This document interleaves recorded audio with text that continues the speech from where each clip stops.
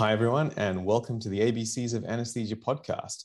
And today we're going to talk about induction drugs. Um, so, what we want to get out of this again with this series of series of presentations, a series of podcasts, you're just driving to work and you just need to know some really useful practical information for your first couple of weeks in anesthesia. And today we're going to go through induction drugs. So the common induction agents um, that immediately come to mind, I guess propofol, you know, the mainstay of most inductions in this day and age, and I guess the secondary agents such as ketamine, thiopentone, um, midazolam, and then the more rarer stuff that we don't really see, such as etomidate, um, would be the main agents that we would talk about. Yeah, sounds good. So what we'll do, we'll make it practical. We'll tell you the rough doses, uh, you know, that we would prescribe to, onset, offset, then why you'd use it, and maybe some of the things to watch out for. And then finally, we'll actually go through some cases. So, you know, we'll go through some representative cases that you'll see time and time again, and then some more specific cases uh, where, you know, your choice of induction agent really could matter and, and your dosing as well. So yeah, let's get cracking. How about, let's, let's start with the most common one, propofol. You're going to use this day in, day out. Uh, it's just the bread and butter of inductions in anesthesia. Uh, what do you reckon? Dose, onset, offset, and why you'd use it and what you need to watch out for. Yeah, so so propofol is um, you know a very common drug and very commonly used, as we said before. So a common dose would be about anywhere between kind of one to two, two to three milligrams per kilo. Um, and the onset, as everyone knows, is very quick. So within kind of about 15 to 30 seconds, peak effect is really usually about one to two minutes. Um, and offset with a bolus dose is about kind of you know three to four minutes, up to about five minutes. Um, and as with all, most of the induction agents we're talking about today, it works by increasing um, GABA conductance in the brain. So it creates an overwhelming inhibitory stimulation in the brain. Um, the things to watch out for uh, with propofol, I guess, you know, very commonly cardiac depression, both in terms of inotropy as well as reduced systemic vascular resistance. Um, and then respiratory depression. So you can cause apnea at the higher um, the higher doses um, and also loss of the upper airway reflexes. So both the pharyngeal reflexes as well as the laryngeal reflexes, um, which is you know one of the reasons why we use it sometimes. Mm, that's really interesting. And when, when I think about our job as anesthetists, the reason we have a job is pretty much because our drugs are just really blunt instruments. They're really, really good at getting you off to sleep in this case, but then they have these ridiculously bad side effects, like you know the fact that we we get you hypnotized, get you sedated, and then your blood pressure drops and your heart function decreases or you become apneic. It's, it's a bit crazy that those side effects just happen every single time in coordination with the, the effects that we really want. So that, that's why we get really good at managing hypertension and airways because the drugs we give for hypnosis it constantly cause these problems and we get to practice these and keep our patients safe with these techniques and so and so i guess the special features so we've gone through the dosing and the onset offset and the things to worry about and the special features is that you know, it is really fast, it's onset, really fast offset. You get this smooth wake up, and people, you know, if you run sedation, people just wake up really pleasantly on propofol. That's potentially why, you know, it, it has been used as a drug of abuse. Um, and, you know, famously, Michael Jackson died because of propofol and in, inadequate uh, monitoring and support, airway support afterwards.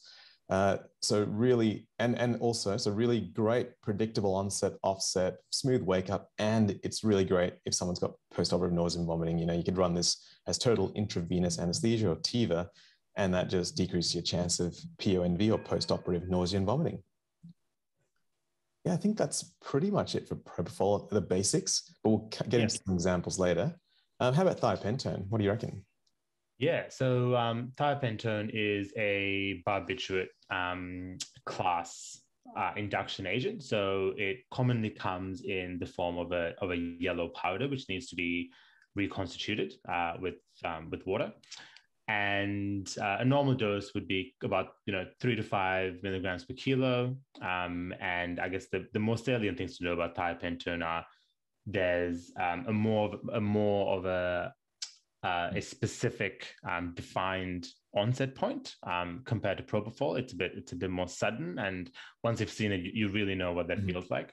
Yeah, and, it's, it's almost like that blinking of the eyes with a propofol induction doesn't happen. It's the eyes are open and the eyes are closed, and they don't open again until the drug wears off.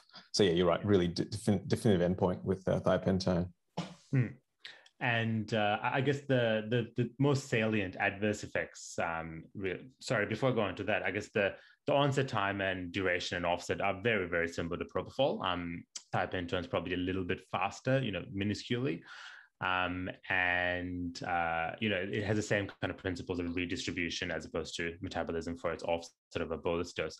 Now, in terms of the adverse, does, sorry, um, they do talk about having a hangover effect. So when we used to use uh, thiopentone occasionally, people would just wake up a little bit hungover, a little bit sloppier, not not as awake as after propofol. So that's just one of the things that we you know we didn't like about thiopentone. I think, uh, yeah. And that would obviously have implications for um, you know uh, neurosurgical patients and things like that, where you want a quick assessment postoperatively. Mm-hmm. Um, the, I guess the most significant adverse effects of of thiopentone um, is really it's it's got a much more significant um, cardiodepressive effect. Um, and, you know, that's kind of the, the famous anecdotal story that, you know, more people uh, in Pearl Harbor died from thiopentone induced um, cardiac instability than kind of the bombing itself. Mm.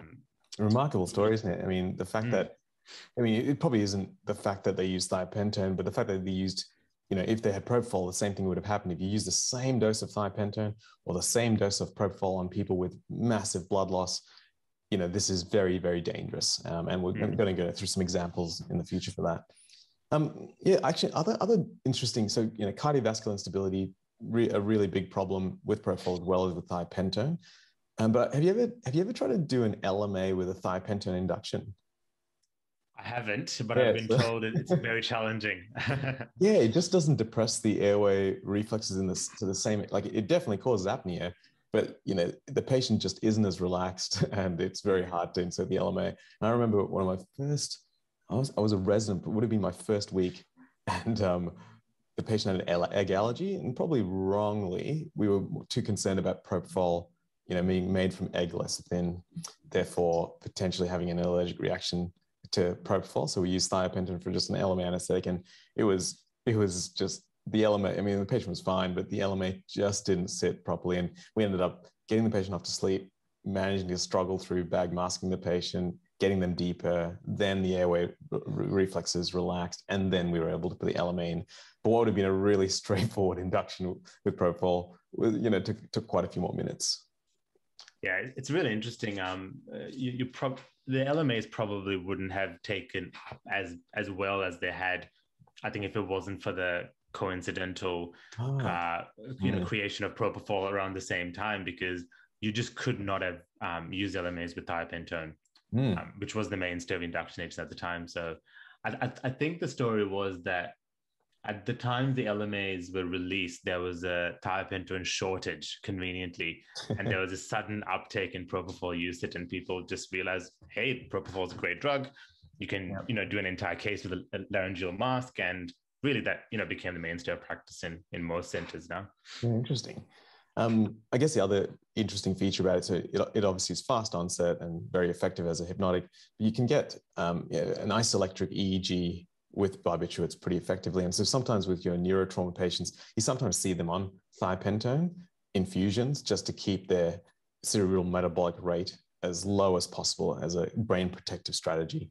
But the fact is that you know, do I do I ever really give thiopentone? No, I mean the the the the rates of these problems are probably not that great, but the fact is that you know the anaphylaxis rate is higher in thiopentone, and if you give it accidentally intraarterially or it you know blows up the vein and you suddenly get thiopentone around the skin, that's a lot worse with thiopentone than propofol. It's a lot more painful intraarterially uh, and you know dangerous intraarterially with thiopentone as well. Plus the anaphylaxis rate is probably six times higher it's still very, very low, one in 10,000 versus one in 60,000 with propofol. So again, very low, but still, you know, propofol is such a great drug. You can really see why it's gone out of favor. Um, but, yeah. but I, I, definitely recommend finding a consultant who's comfortable with its use and um, using mm. it once or twice just to get familiarity with it, especially in the lead up to the exam. I think mm. when you've used these drugs that are a bit less common, it, def- it definitely helps you understand the the pharmacology and the pros and cons. Absolutely. So I guess the, the next agent um, we are going to talk about is ketamine. So Lahiru, um, what about ketamine? Onset, offset, things to watch out for, pros and cons. Yeah, sounds good. So ketamine, fantastic drug because it does everything in, in one go, really. so in terms of dosing, analgesic dosing is very different now. Um, so anal- it can be used as an analgesic or a hypnotic.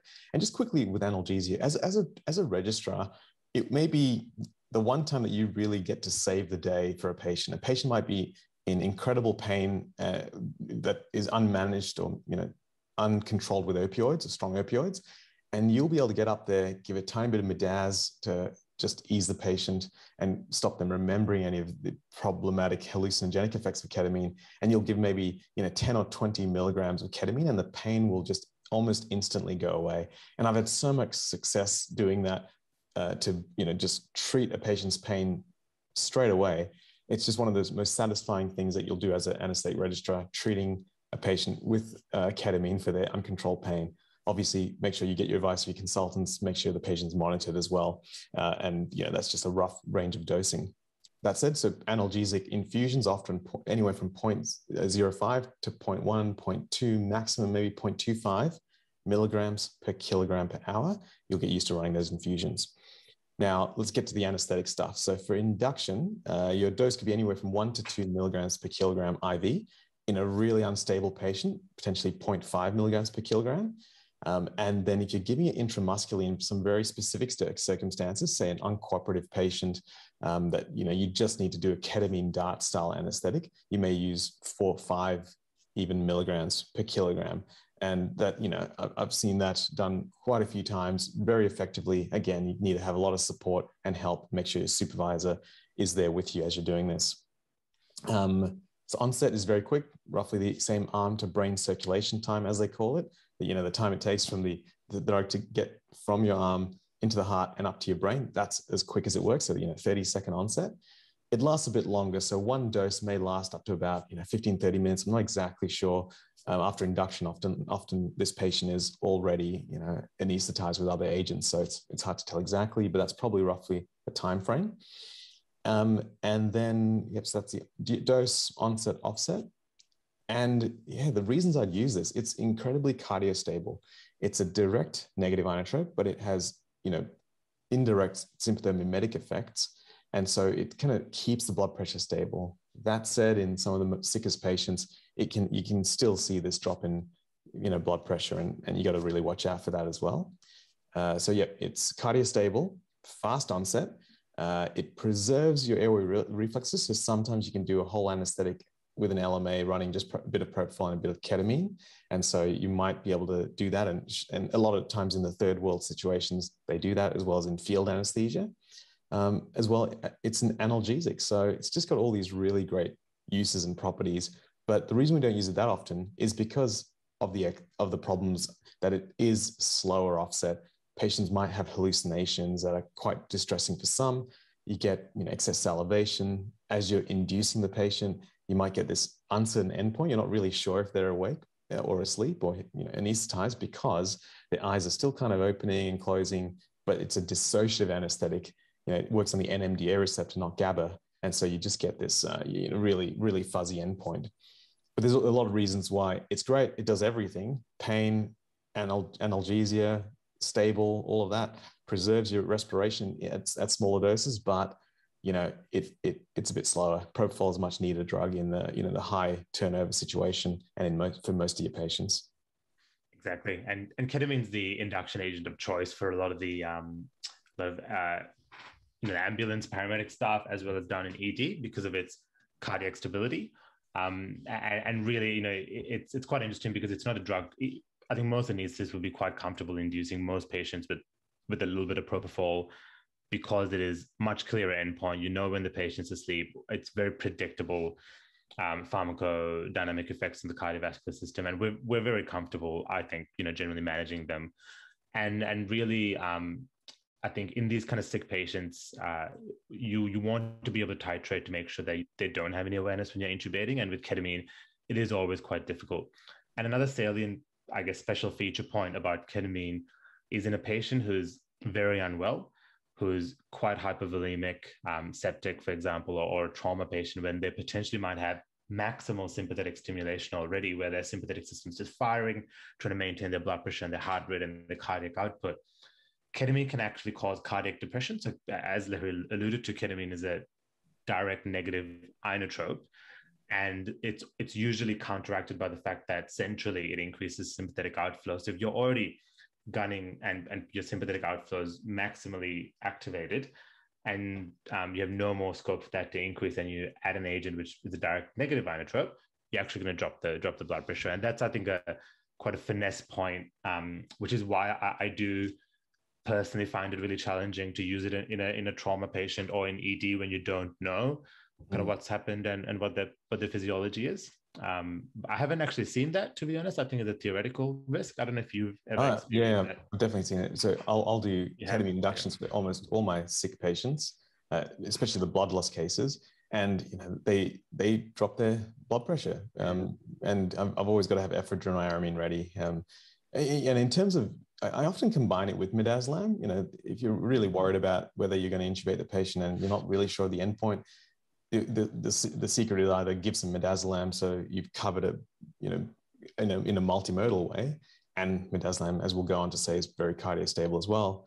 And also you can just time it, you know, if you've, if you've taken 30 seconds to a minute, you, you know, you should be pretty comfortable that the patient's asleep. And again, make sure you're, you're working with someone who's very familiar before you do this. Mm, that's good advice about the midazolam. I will adopt that to my practice. so I guess the next agent um, is midazolam. So same drill, Lahiru. What can you tell us about Midaz? It's often used in sedation because it's, it's very forgiving. It's got a much larger therapeutic range than propofol. For example, you give a dose of, say, 50 of propofol uh, for sedation, uh, you know, let's say in just an average 20 year old person, they're not going to, they're not going to generally become apneic. But then occasionally a little bit more and they do become apneic, plus with opioids on board. But with midazolam, you know, you could give one three, even five milligrams in a 20 year old, and they're not likely to stop their respiration suddenly, like, like with um, propofol. So it's, it's much more forgiving agent.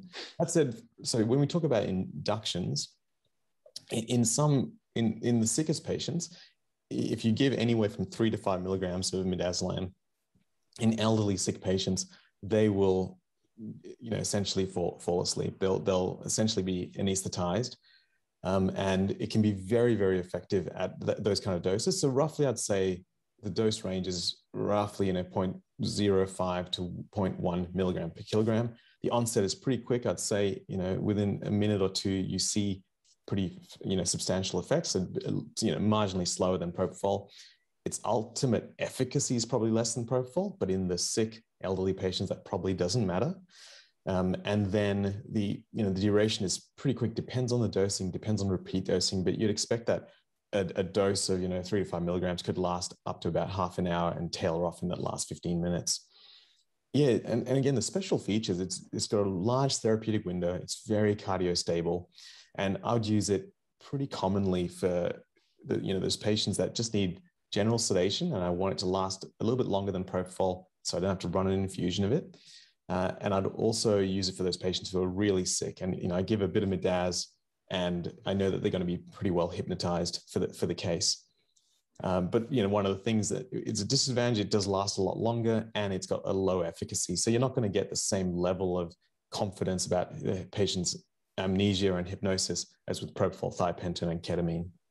So Kaz, um, etomidate it's not a drug we have in Australia, but we do have it in New Zealand. It's part of the ANZCA curriculum. Uh, tell us about that because you've just done your fast, first part, so you probably know a bit more about this than I do, uh, even though either you know, we, we both have not used this medication before. Uh, but yeah, tell us about etomidate.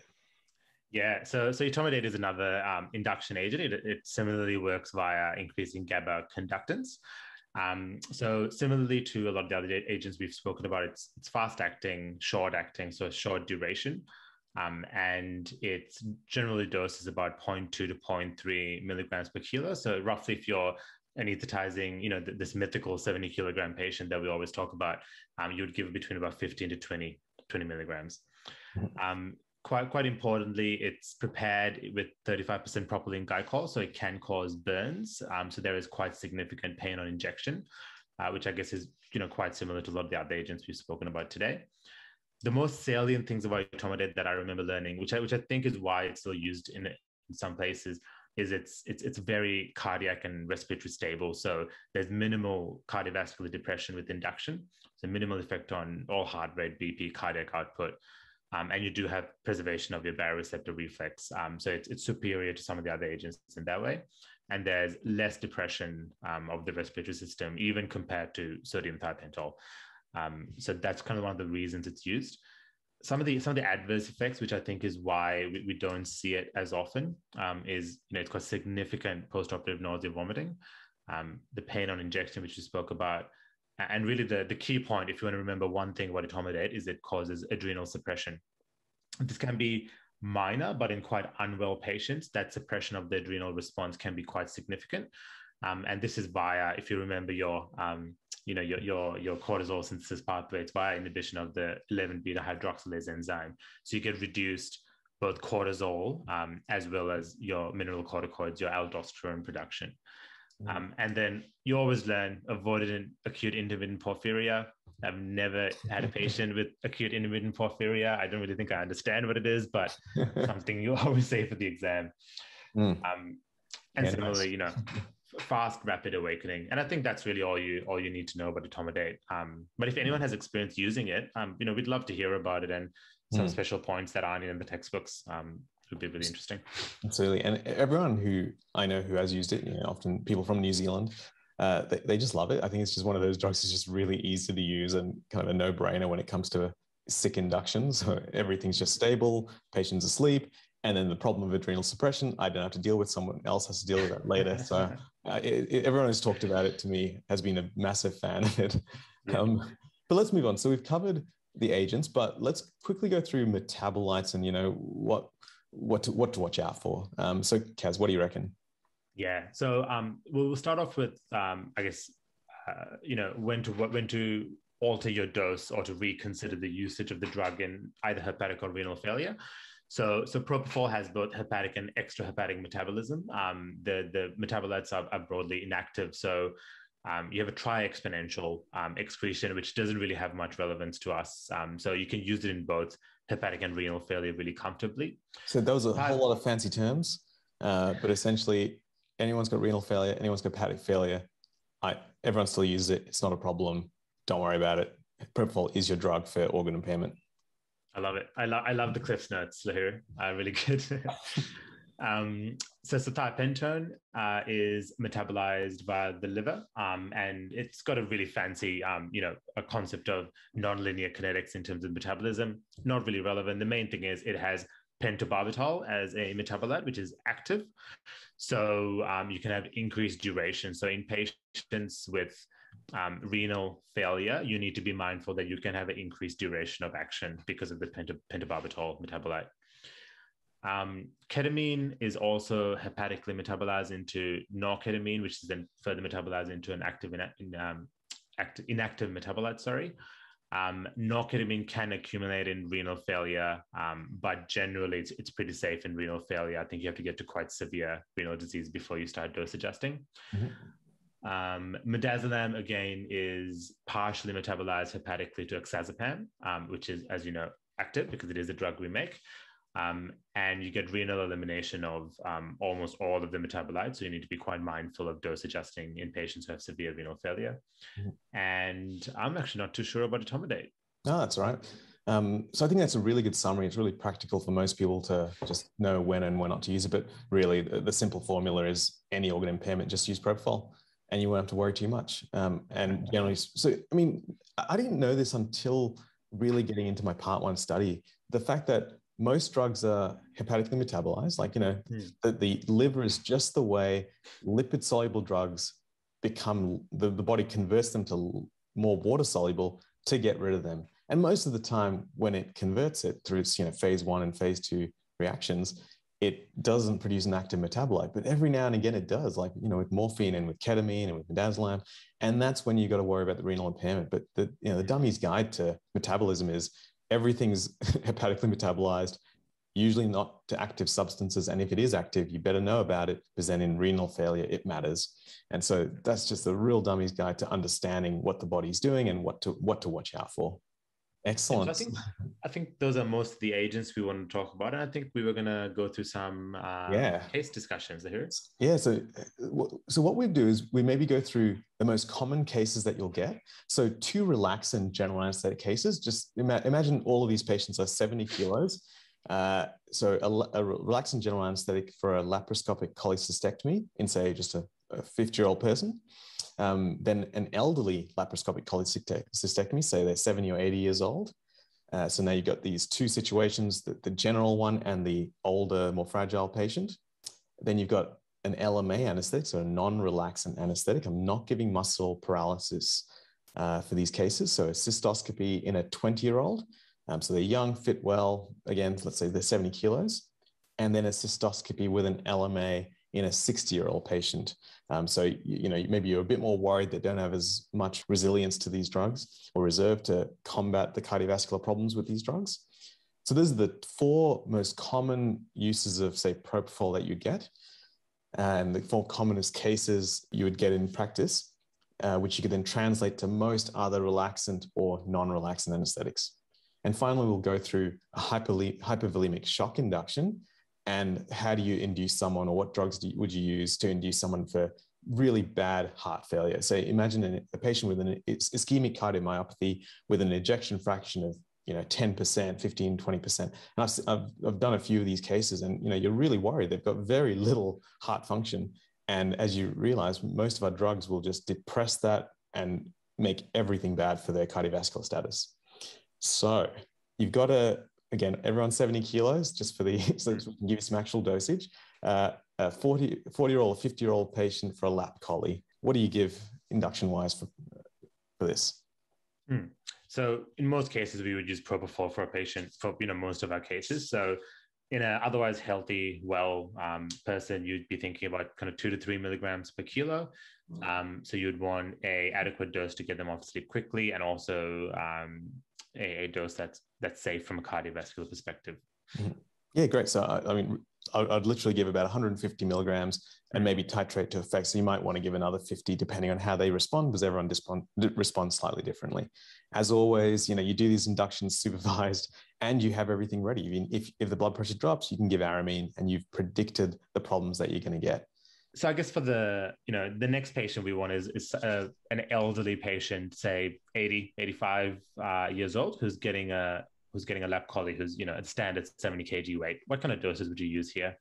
Yeah, so with, with, with this patient, you just know they have a lot less reserve, and so generally speaking, I'd you know err on the side of caution with these patients, anywhere from 0.5 to one milligram per kilogram. But literally in these patients, uh, I would start with say 50 milligrams or something around that amount and then I can titrate it to effect. I can give you know extra doses, and I'm just taking everything really slowly. And I know that the blood pressure could drop substantially, and so I'm I'm concerned about that. Um, I might combine with a bit of midazolam as a sparing effect. I might give more fentanyl to spare the propofol as well. But either way, I'm giving much lower doses. The fact that they're elderly, the fact that they've got less brain tissue and more, you know, less central volume, and more of this agent is going to affect their heart and uh, and lung function means that I'm just gonna I'm just gonna go really slowly with these patients, uh, and I know that I don't need too much anesthetic to get them hypnotized, and the relaxant will keep them paralyzed for the for, for the case. So I don't yeah. So essentially, I I don't need much for these patients to have them anesthetized well.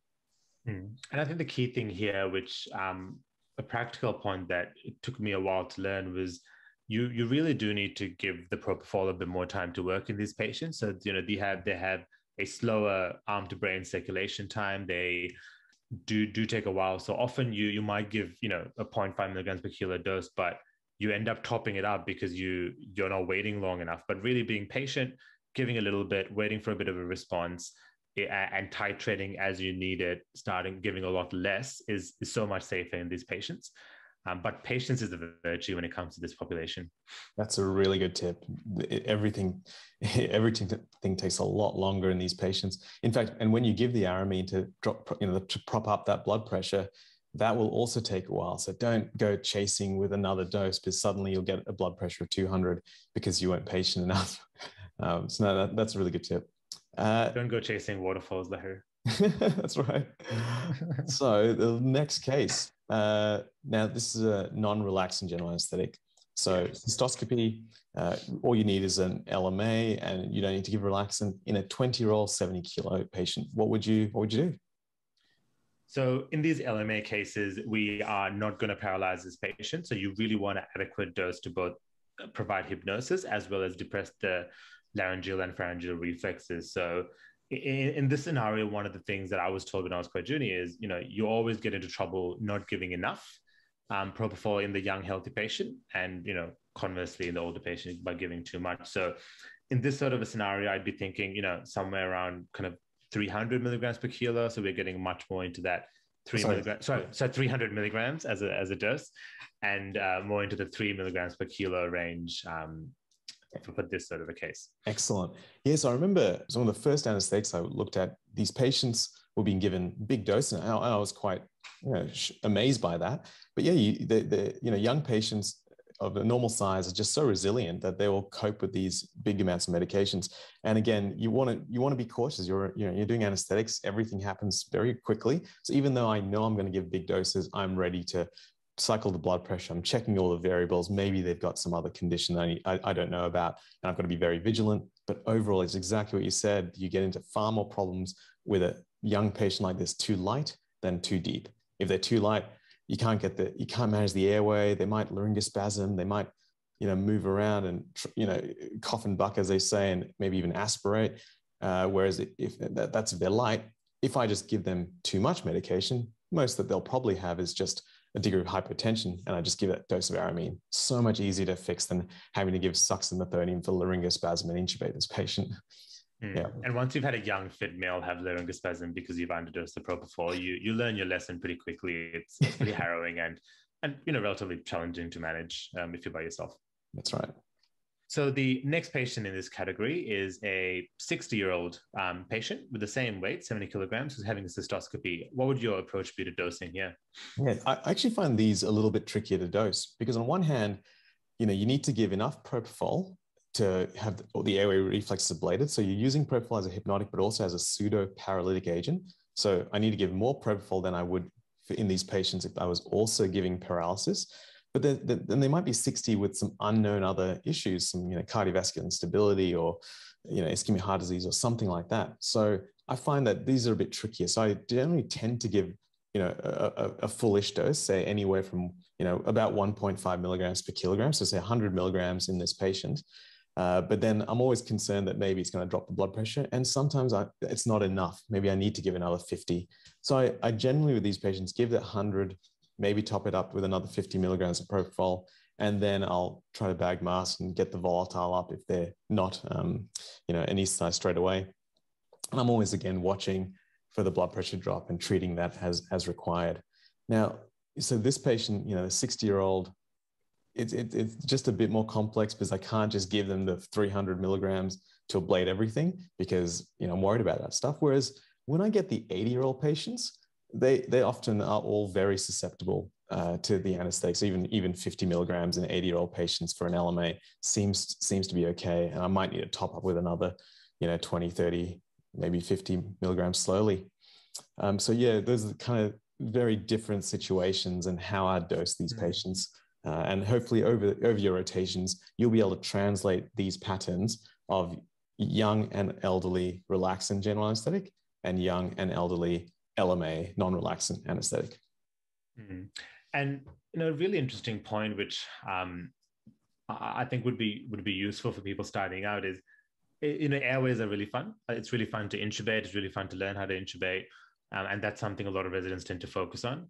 But if you are going to pursue anesthesia as a career, and particularly if you're kind of someone in ED or ICU coming to anesthesia, I actually think you, you learn a lot from asking to give the drugs and learning how to how to dose medications. And I made a point of this as a first year um, because you know after a while you know you can intubate most patients, and really you want to you want to learn how to dose these medications. And, it, and it's, it's such a involved, nuanced process with so many variables and you really want to get that experience while you have a consultant with you for most of your cases.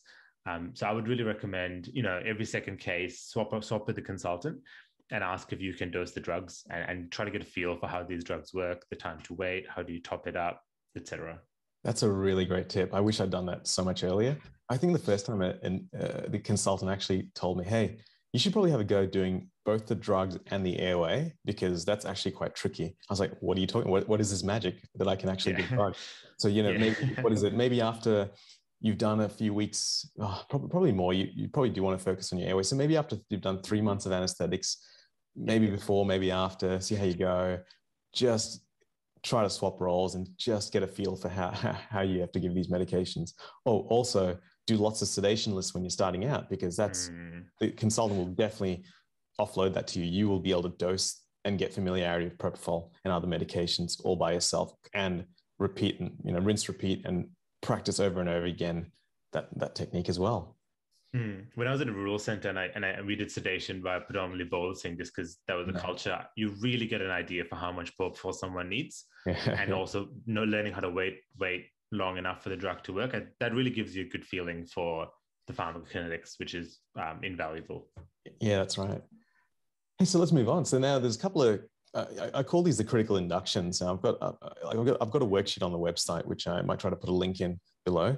So there's only a few cardiovascularly relevant or critical inductions, and the, the ones that we can go through now are hypovolemic shock induction and the really bad heart failure induction. So tell me about let's say you have a you know 40 year old patient, 70 kilos again, hypovolemic shock. So they've had a motor vehicle accident, they've lost maybe three, even four liters of blood, they're pretty unstable, and you just need to, you know, the blood's running, the fluids are running, you have to rush them to theater for laparotomy. Uh, how do you do that really, really tricky, high risk induction? Yeah, look, very, very complicated answer. And I think there's multiple ways of approaching this. My, um, I guess one approach would be to use propofol. So, so the relevant physiological factors here are they've, they've lost three liters of blood, so their, their central plasma volume is much lower. They're potentially obtunded, either because of shock or because of the hypovolemia. So you actually don't need as much drug to make them um, to make them asleep or make them amnestic. Um, and then I guess the third point is the cardiovascular instability. Um, so whatever you give will have a much more profound effect on this patient who's really holding on by the by the grace of their sympathetic nervous system. Um, so, you know, in, in this sort of patient, I think it's not uncommon to give what would seem like a homeopathic dose of propofol. So, you know, two, three mill- milliliters. So, you know, 30, yeah. 30 milligrams of propofol um, is, is usually sufficient. I've, I've done some of these cases with one mill of propofol. Mm. Um, and, that's, and, that's really enough. Yeah. Yeah. And, and you know that they're going to drop their blood pressure. So everything that you do is to prevent this happening. You got your art line, you got your big drip and the fluid and the blood running. The surgeons might be mm. prepped, draped, ready to get in there and try to cross clamp whatever vessel's bleeding out. And you've got your aramine, ephedrine, and maybe even adrenaline. And mm just to just to be extra careful that crash cart might be in the room because you never know how bad it's going to be. Uh, so I know I completely agree with you. I may give anywhere from one to three mils of propofol if I'm if I'm forced to use propofol. Um, but I, I, would agree, and and that seems remarkable. Like what, what you know, what are we talking about? You, you gave for this, you know, a 20 year old, you gave 300 milligrams, and now you're giving 10 milligrams. That's not a trivial difference, uh, and hopefully, hopefully, a lot of these patients don't come in. But if if you are forced to treat these patients, ask the anesthetist, you know, what are you giving? How do you decide that? And explore explore the um the reason for giving such a low dose. Hmm. And this is also one of the scenarios where the where the fellow or the consultant will insist they do the drugs because mm-hmm. you know it, it is a more difficult part of part of the situation. Yes. Um, so I guess I guess the other things you could do. So other medications, um, hmm. medications you could use. So a ketamine induction, as we spoke about, hmm. has that added benefit of um, cardiac stability. But you, as you spoke about, you just think about that direct kind of negative inotropic effect. What kind of um, doses would you use here, Lahiru? I don't have as much experience in this. Yeah, so I'd often use about the 0.5 to one milligram per kilogram. I know a lot of my colleagues would generally dose into the one milligram per kilogram range. I just know that I've had pretty severe hypertension, even with 0.5 milligrams per kilogram. So often I'd combine this with midazolam and I'd give some midazolam and maybe 30, 40 milligrams of ketamine and give a rapid acting muscle relaxant. So that's probably the range I'd give it in, knowing that these patients will still drop their blood pressure every now and again, even with ketamine. Yeah, yeah. And I guess to a degree, you would you would probably have so much obtundation if they really have lost mm. three liters and they haven't been mm. resuscitated mm. with any IV fluids or blood you can probably get away with a bit of midazolam, you know, give yeah. them enough am- amnesia and enough sedation, and yes. then get the tube in. Um, yes. But I guess you know, uh, for example, a BIS monitor would be you know your friend in this situation because we know that awareness um, is much more likely in kind of trauma and septic patients where you are being a lot more cautious about the drugs you're giving. Mm, that's good. Yeah, and likewise, you can probably just do this on midazolam as well. Um, you know, this patient's unfasted, so you, you don't want to obtun them too much, but giving two mil, you know, one milligram while you put in an extra line and theatre gets set up, and then another couple for induction with the BIS on, maybe a bit of ketamine. It's just a bit of an art about being familiar with these medications, getting used to giving them, and especially getting used to manage the predicted complications. Excellent. All right. Well, the the next case we want to talk about was was quite similar. It's about the it's about an induction in a patient with, with heart failure. So, what hmm. would your approach be in this? I guess what are your priorities, and then what would your approach be? Yeah. So my priorities are now uh, the first thing to say is that this sounds a lot like the hypovolemic shock induction, but the reason why it's so different is in the hypovolemic shock induction, you just got a general patient. I don't care about tachycardia that much. In fact, I want tachycardia to support the sympathetic nervous system and the, and the blood pressure. So I don't care how much alpha, you know, fentanyl I give, or if I give any fentanyl at all for the hypovolemic shock patients. But for the heart failure patients, I really want everything to be just be normal. So I want normal preload, normal rate, normal contractility, or I don't want any suppression of that. And I want a normal afterload to promote coronary perfusion pressure. So normality is what I'm aiming at. And this is a, probably a slightly trickier induction. Um, you'll often do these patients in it, who are going for cardiac surgery. So, you know, your CAGs, your even, even, even your valve operate, operations, they're often sick hearts. And so just to give you a bit of a pattern, so I find, you know, midaz and maybe, maybe an infusion of propofol running, so it's very little amounts of propofol that are getting in is often what you see happening. For example, as you're putting the lines in, you're putting in, you know, a couple of big drips in outline. You might give a couple, you know, two mils of midaz, uh, maybe another millimidaz as you're going off, as, as you're starting to preoxygenate. And so by the time you get to the actual induction and giving the relaxant, you've probably given anywhere from three to five milligrams of midazolam, maybe one mil of propofol. And that's probably enough for these patients whilst you're running some fluid to maintain your preload and giving lots of fentanyl to stop a tachycardia as you go in with your um, laryngoscopy. So these patients, I would always predict that they'll be hypertensive due to vasodilation, venodilation, and depression of the contractility. So I'd have the aramine running and I'd have ephedrine on hand to just get back to promoting their heart function.